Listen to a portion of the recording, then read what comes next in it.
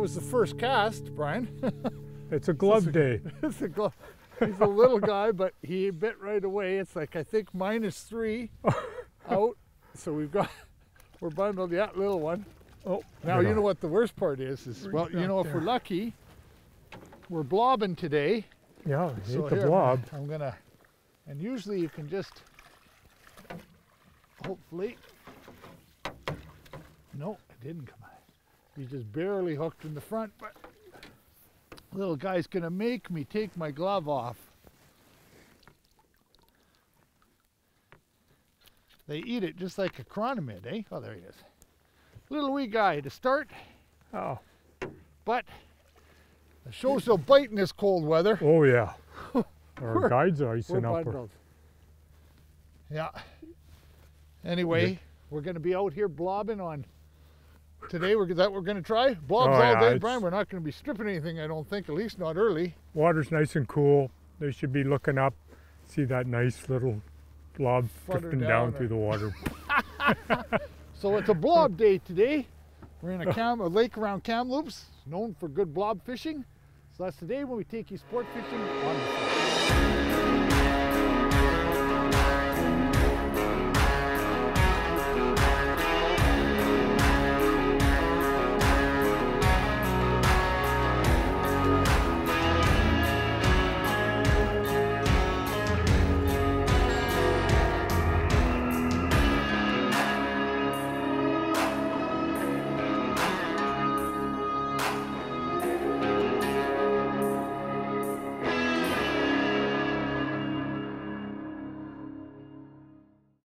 Sport Fishing on the Fly is brought to you by Togan's Fly Shop,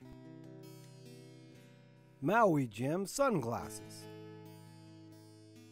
and Hardy Rods and Reels. Wow, that was a good one, eh? Just took oh, right oh, away. yeah, that guy ate it. He ate it.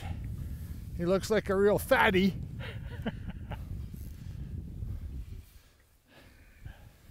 Trying to keep him up out of the out of the weed. They got some girth. Oh yeah. Gee. Oh oh oh. Anchor rope. Oh. There's a little, look, look at how fat that is. little chunk, eh? He's only like, what is he? He's like 16 inches long or something. I don't know, maybe a little longer, but wow. I, flies right in his beat, right in the. Yeah, they take it just in the top, but this thing is the shape. It's the shape of a little coho salmon or something. I don't want to put my hands in, Bry. Oh, I gotta what have a to. piggy. Yeah, just to hold him up because he's he's so fat that just to show him is I, I don't know if I Oh, yeah. because he's he's like a 16 inch fish with just a super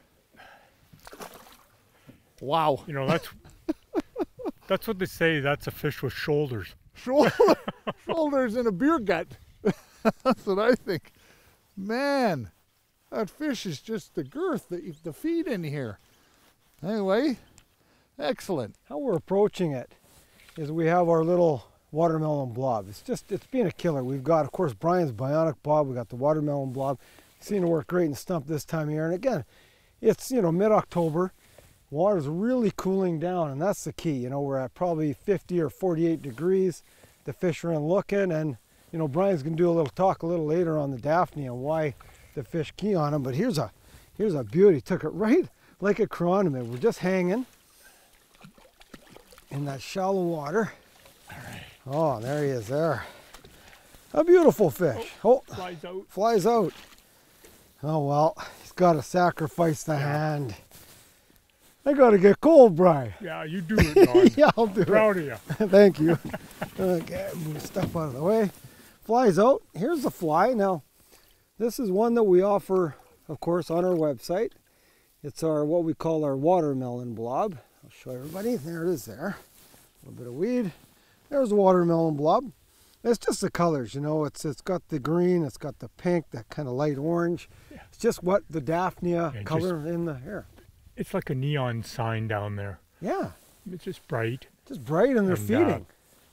Imitates that little cluster down there. All right. Well, I'll try to hold this guy up. Ooh. Okay, yeah, you know what? That's cold water. I can't even. Oh, whoa. How is the water, Don? Oh, it's cold, Brian. it's cold. Here, I'll get him this way. Yeah, come on. There. Okay. There he, oh.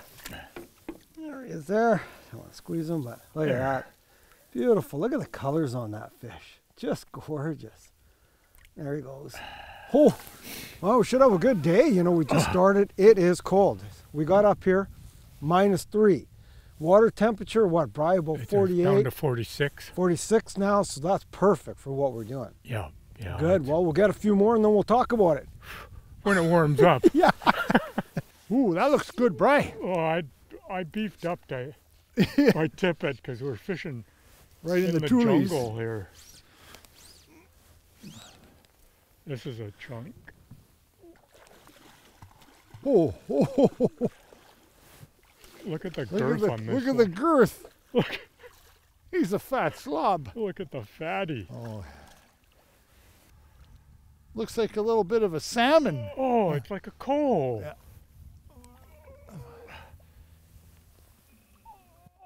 Oh, Oh, oh, oh, ah, that has to be the fattest. I've, that's the oh, fattest one I've ever seen. Look at that thing.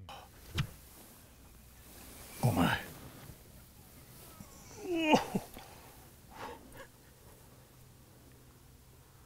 What a tank, Brian. Isn't that a pretty fish, though? wow. Oh, look at that. Look at the girth on him. All right, he's going in.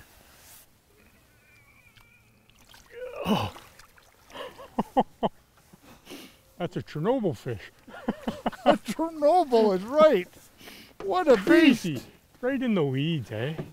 You just never know. It could be 12 inches, it could be 12 pounds What in a here. beast. Oh, man. Another nice fish. Gee. You know, and that's uh, what Dale was calling the hit and run. You know, we got to keep moving. So Brian's been just moving us along. You know, we keep hitting new sections on that weed bed, and we're just working that weed bed all the way up. And every time we get into it, we get in some more fish. And this one's another dandy bry. Looks like a good one. Not as uh, not as obese as yours, that last one, but you know what I find this year? Uh, you know, we're fishing stump. We're showing everybody how to how to fish blobs, and it's just really rewarding. A lot of times, you know, you'll come out here and we got the traditionals, right? We'll fish the leeches and we'll fish the shrimp, but when when fish are on blobs, when they're feeding on the daphnia, especially when that water temperature is cold, it, you can't beat it. It's just too much fun, and it's just your chironomid setup. You know, dry line, long leader, just match the depth and uh, and hook them. Oh, this is another slab bry, eh? Have you seen him? He looks big. He looks Oh, yeah. big. It's a quality Oh, fish. gee. It's like yours. Oh, Flies out. flies out, I know. Well, 'cause they, there it is there. And again, it's the, you know, the watermelon blob. We showed everybody. You know, it's on the site. This is probably one of our favorite colors. But look at this tank. Holy cow. This is, this thing, I can't grab him. Yeah, if you hold the net up, Bri, I'll try to get under him a bit. Oh, look at that. Oh. Look at that. Look at that. Look at how fat he is. Look at it's just crazy. Hold this guy one more time before we let him go. Look at that. Look at that. Look at how fat these fish are. They are just so healthy. There he goes. Gone. Yeah. Right. well, you know what we should do right now? Let's do a little talk about, uh, you know, why are the fish feeding on the Daphnia? Yeah. What's the thing? Well, you know, in uh, these super productive lakes we got in British Columbia in the interior, there's really dense population of zooplankton, which are those little green and orange and red dots you see in the water. And uh, zooplankton cluster up into balls and uh, clouds of them, and they're an easy food source, so the fish just chow down on them. And late in the fall, in particular, uh, the fish are looking for any good food sources because there's no insects hatching anymore. So they, they see these little balls of Daphnia, and uh, for some reason, these uh, blob imitations of various colors, and uh, the fish zoom in on them, and they'll they just suck them in, just keep swimming along, open the mouth, and keep going. So you know, some of these patterns are pretty bright, and a lot of guys say, "Well, it's like fishing a little artificial power bait," but yeah. not every color works, and we've got to change colors as sunlight uh, changes during the day, cloudy days for sunny days. So it, it's it's a whole new way of fishing lakes. Yeah, and is it good in the spring also? Like the Daphnia, when do they start really going? Yeah, and they they start in the spring, Spring, and yeah. they uh, they build their population during the summer months. But what anglers need to understand is Daphnia move up and down in the water column. Ah, So they don't like bright sunlight. So uh, d- uh, during the bright sunny days, they're down low in the water, and then uh, when it clouds over in the evenings, they come back up in the water. oh, well, that's great. And that's why we're fishing the blobs. and Ex- having so exactly. I love it. Okay. Well, let's get some more. There you go. Sport Fishing on the Fly is brought to you by Togan's Fly Shop, Maui Jim Sunglasses, and Hardy Rods and Reels.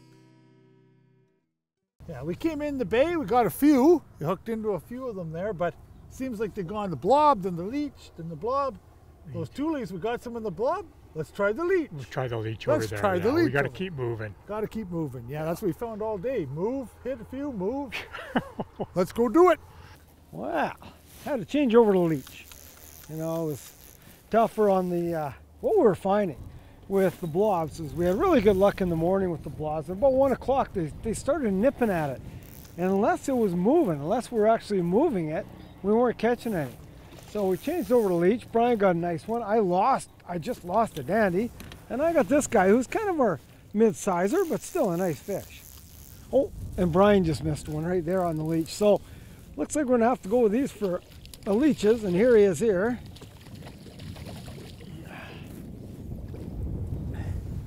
Right the top lip, and this is one of my favorites too. It's uh, it's a cross between our ruby eye. It's a little purple. It's kind of my little purple jig leech. Quite effective, quite a good pattern. But you know, I lost one double this size a minute ago. But these are, you know, these are nice fish. Good fight. We've got fish moving here too. Big fish, but is there. Look at the colors.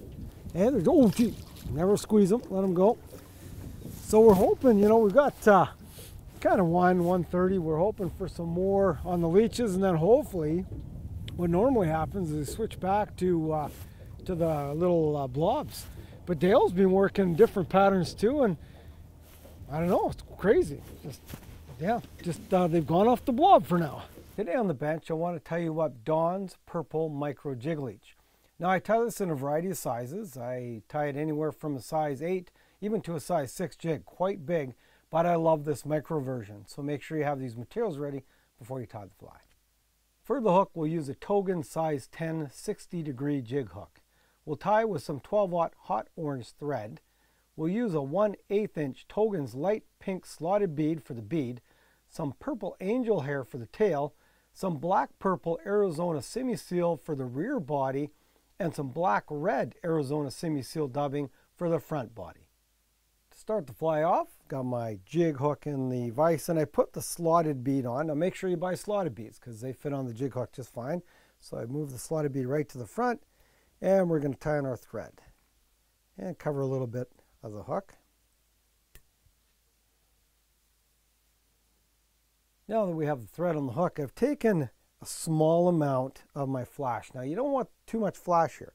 I've just taken enough, say about 20 strands, quite thin, and cut it off. Keep it long. Then you're going to double it over your thread about halfway down the hook and just wrap that back towards the tail or towards the bend of the hook to form the tail. Once it's back, never cut it. Never cut it sharply. What you're going to do is a little trick to cut your tail to length. I want it about as long as the hook, so I'm going to finish there. All I'm going to do is rub my scissors back and forth. And I'm just going to splay that material. Just keep pulling on it. Just keep rubbing your scissors back and forth on that material. And that'll really make a nice tail on the fly. Never cut it because that'll make it really even. We want it very uneven. So that's a little trick you form a, a nice tail with. Now that we have the tail tied in, we're going to form a dubbing loop and make it quite short, only about uh, two to three inches because we're only going halfway up the hook. Take your thread back to the midway point and start placing your dubbing inside that loop. Then wrap your loop to make a nice dubbing loop and then we're going to wrap forward and as we wrap forward we're going to slowly pull back that material to form the back rear half of the body.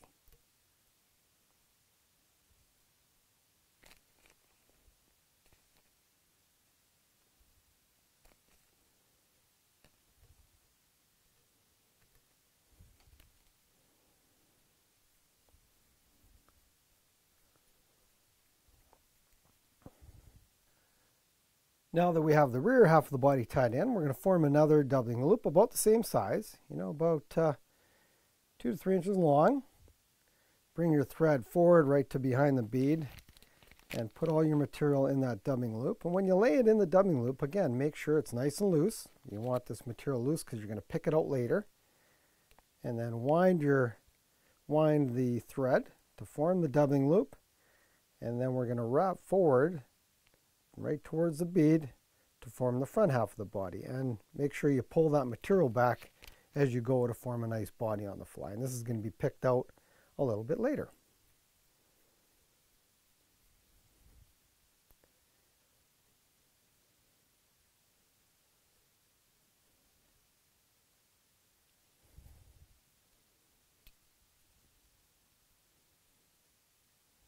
Now that we have the front body tied in, I'm going to take quite a few wraps and build up a small hot spot. That's why I use the, the hot orange thread. You can use red thread, but I love the hot orange. Form a nice hot spot right behind the bead and then whip finish a few times to, to finish off. You can also put some head cement on, but I just like to whip finish a few times to make sure it's nice and secure. Now to finish the fly off, what you're going to do is just pick all the material back. Get a good dubbing pick and just pick all that material out all the way through. And that'll form a real nice body on the fly. And if you want this material to lay down real nice to form a real nice leech body color or uh, profile, you can actually boil in hot water for a couple of minutes, not even, just get boiling water, throw it in there for 10 seconds, and all this material will lie down for you. But uh, that makes a great little micro